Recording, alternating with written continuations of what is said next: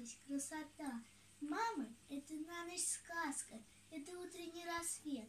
Мама — трудный час подсказка, это мудрость и совет. Мама — это зелень лета, это снег, осенний лист. Мама — это лучик свет. Мама — это значит жизнь.